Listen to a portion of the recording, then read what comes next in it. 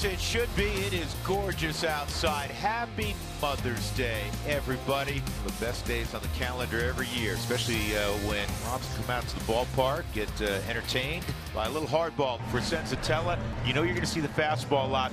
He needs to get quicker out so he can last longer than he has the last couple of outs. Swung on a miss. You were asking for more strikeouts. I love There's it. a strikeout of Greg Garcia. There's a line drive that Tapia lays out, makes a great catch. That was a top spin line drive from Franmil Reyes and a really good play by Tapia. If he dives and leaves his feet and it gets past him, that's an easy double, maybe even three. Hosmer walks, and that'll bring up Hunter Renfroe. Another one two is strike three called on the outside corner with a fastball. Senzatela strands a pair. Gavicius on the mound today for the Padres, making his eighth big league start. Swing and a miss, and he strikes out Charlie Blackmon. Two on, two away in the first. The 2 2. Same pitch, outside corner, strike three call. Nick has got the great control. Everything is based on his command, and he looks really, really good out here today. And here's Tapia on the homestand, six for 18. This ball's well hit left center field, and it is off the wall. And a really good play off the wall, save for that being a triple for Tapia. One and two on McMahon. And he'll do better than that. He'll touch third, and he'll come on home. Is that okay? This is perfect. Take second. Back to back doubles by a couple of young Rockies hitters, and the Rockies draw first blood. One to nothing, Colorado. Tony Wolters swinging the bat very well. And Wolters with a base hit. Come on down, Ryan McMahon. The Rockies take a 2 0 lead. How about that, Tony Wolters? Charlie Blackmon, the hitter now for the Rockies. And this ball's absolutely demolished.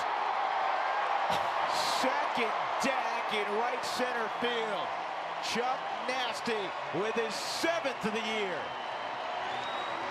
I don't think Ellen Blackmon's ever seen Charlie hit a ball that far. I don't think I've ever seen Charlie hit a ball that far, except for maybe Baltimore. Yeah, the ball he hit out on Utah Avenue. But look at this thing. Oh my goodness, there's no way that fan thought he was getting a baseball out there today. Now one down, runners on the corners. And a good job by Franmil. That could really change the complexion of this inning and perhaps the game. But Machado's going to come up and hit now with two on.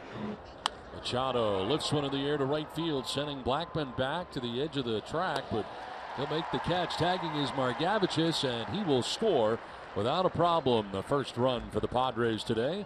And it's now four to one. Senzatela right in the middle of the pitching rubber. Takes the sign from Wolters. The 2-1 is hit towards center field. Slicing away. David Dahl dives and came up with the baseball. Second fine catch in the outfield by the Rockies this afternoon. That ball was slicing toward right center field, and David just kept working and finally got there to make the catch. Well done. Charlie Blackmon, two-run homer, 464 last time up. Said, oh, no, he's done it again. Charlie Blackmon leaves the building in that one, maybe just as far as the first one. He likes playing at Coors Field. Well, he likes Dick Margevicius too.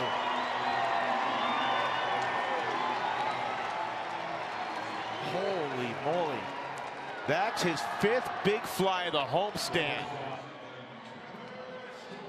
This is walloped. Goodness. Let's drop the bat and start trotting. Yeah, that's every bit of bad attention to drive a baseball. Essentially walked Arenado in the first, struck him out in the third. Line and caught at third base. Ty France laying it out, making the grab right on the line. Nice play by Ty France on a hot shot. So Myers at first with two outs. Austin Allen coming to the plate. Big left-handed batter making his first major league start. Allen lifts it in the air to left field. Tapia coming in, but it's going to fall. First major league hit for Austin Allen. as he's got himself a single here with two down in the seventh inning. Get the baseball for Austin Allen. San Diego with runners on the corners, two outs. And pinch hitter Alex Dickerson coming on to face the new pitcher, right hander Carlos Estevez.